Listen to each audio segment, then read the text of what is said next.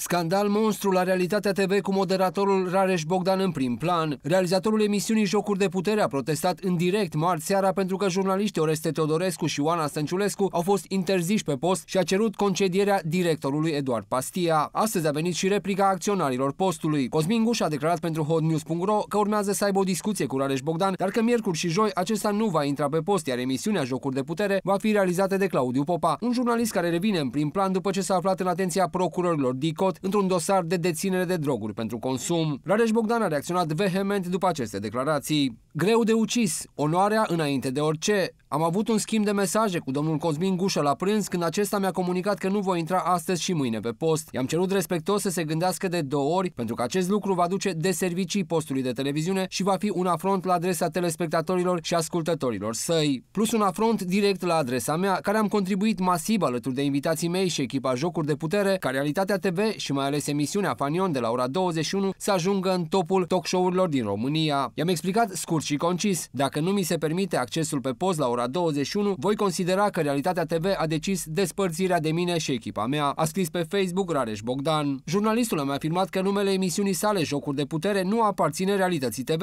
ci lui și că le atrage atenția celor de la Realitatea să nu folosească acest brand fără consimțământul său. Emisiunea Jocuri de Putere a început miercuri seara fără Rareș Bogdan cu jurnalistul Claudiu Popa, moderator.